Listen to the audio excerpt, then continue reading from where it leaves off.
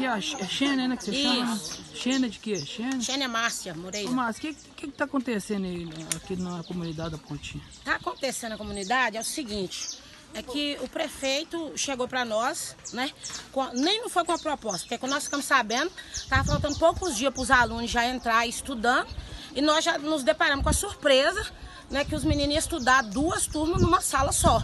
A escola não tem estrutura nem para o tanto de menino que tem em uma sala só, quem dirá duas turmas. Os banheiros não tem estrutura, você entendeu? Não tem uma pessoa específica no SESC Cantineira para estar olhando os alunos ali, os professores ali, para poder olhar os meninos. Basta entrar lá dentro e ver os banheiros, a situação que é.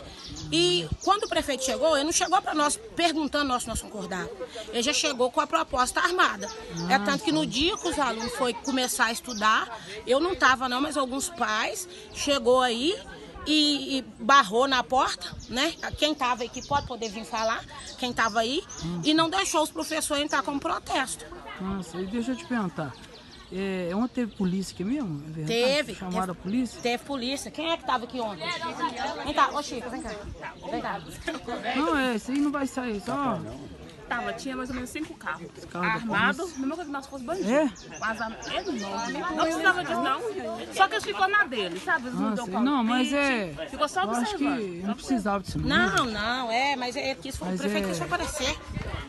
Então, né, o, o problema é que os, ele quer colocar os alunos